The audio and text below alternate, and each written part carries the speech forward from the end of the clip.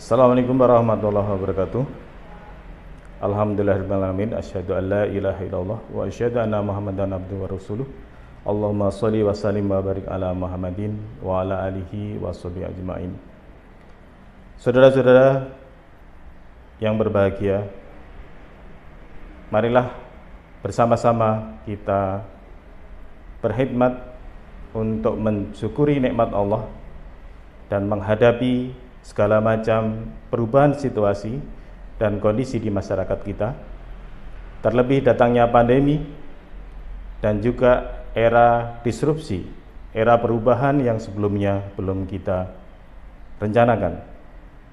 Sebagai orang yang beriman, maka apa pun yang dihadirkan Allah di hadapan kita adalah merupakan ujian untuk kita berlomba beramal sebaik-baiknya.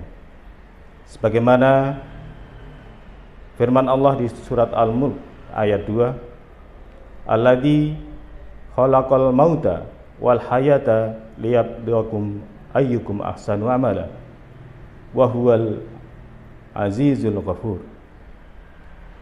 Bahwa hidup dan mati perubahan-perubahan kondisi Allah hadirkan untuk Allah menguji siapa yang lebih bagus amalnya maka iman harus dibuktikan dengan ikhtiar yang keras, kemauan untuk mengatasi segala kondisi dengan penuh optimisme dan ketaatan kepada Allah dan memberi kemanfaatan kepada segenap manusia.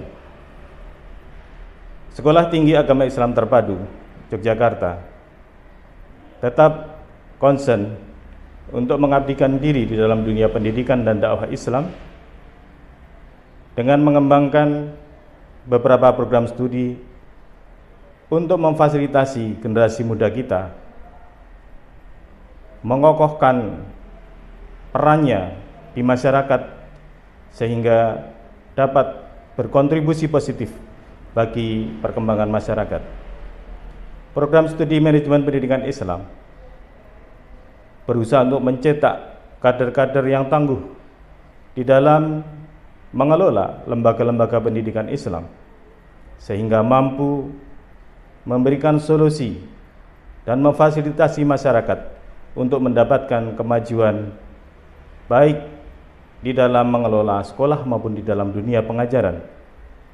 Yang kedua, program manajemen dakwah mengupayakan kader-kader potensial bangsa untuk mampu hadir memberikan solusi-solusi dalam keilmuan keagamaan yang membumi memberikan solusi bagaimana seharusnya manusia dan masyarakat hidup dengan mengedepankan ketaatan dan memberikan kontribusi yang positif bagi kehidupan yang beradab dan bermartabat.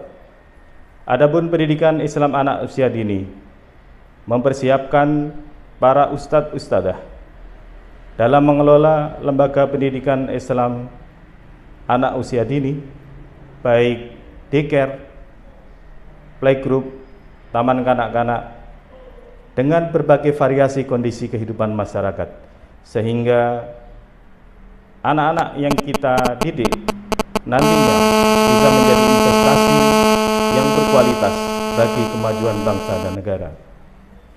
Saudara-saudara yang berbahagia, untuk itu, dalam masa pandemi COVID-19 ini, harus tetap dibangkitkan sikap yang positif, sikap dan tindakan yang produktif, sehingga tujuan Allah untuk menghadirkan kehidupan ini, yaitu untuk melihat siapa yang paling berkualitas amal-amalnya, akan dapat kita akses menjadi sebuah kesempatan untuk berkontribusi beramal soleh dan kemudian bermanfaat bagi segenap masyarakat.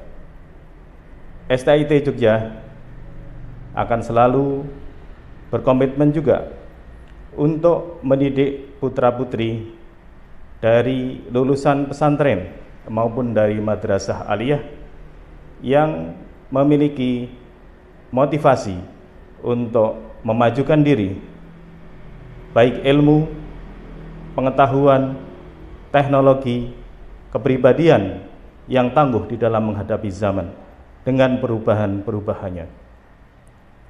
Mari bergabung bersama STIT, optimis menghadapi perubahan dengan beramal produktif.